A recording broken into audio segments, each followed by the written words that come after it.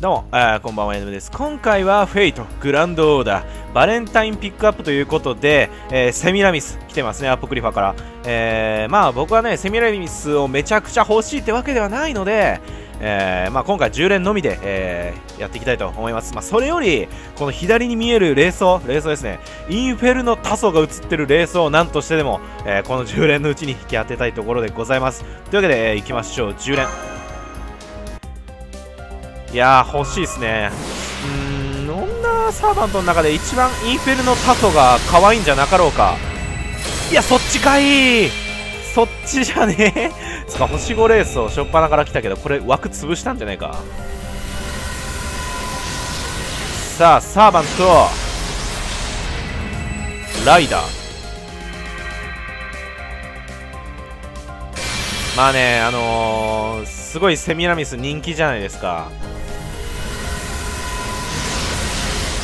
まあね、あのアポクリファの最終回があって、まあ、そこでね、セミラミスか、あ、あのー、えっ、ー、と、アキレウスかな、なんだっけ、ちょっと名前忘れた、名前忘れたんだけど、来るかと思ったんだよな。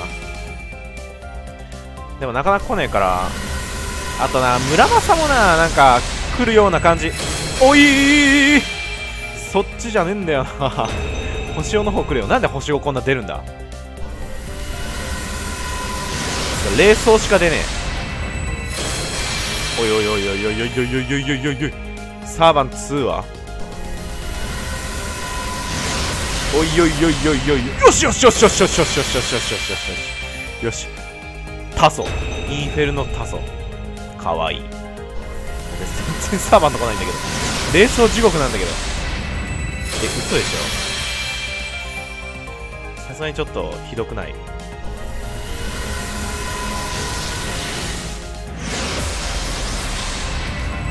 アサシ。ンアサシンだよねセミラミスって。まあアサシンはねジャックまあ主典がいるんで、まあ、枠は埋まってるんですよね。